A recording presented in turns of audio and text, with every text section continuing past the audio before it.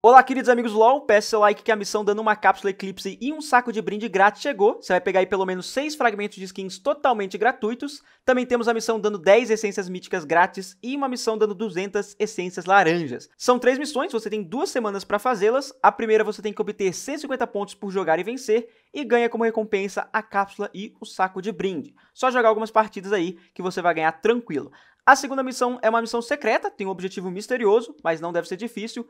Quando eu tiver certeza do que é, vai estar tá aí no comentário fixado. E a terceira é só jogar uma partida gerenciada para você ganhar 10 essências míticas. Se as missões não estão aparecendo para você, relogue ou veja nos seus espólios, quem sabe você já concluiu. Depois de abrir sua cápsula grátis, não se esquece de vir aqui nos marcos de espólio e resgatar o seu ícone gratuito, que você pode resgatar quando você abre uma cápsula. É só clicar aqui e clicar em abrir. Qualquer dúvida é só perguntar. Muito obrigado por assistir e fui.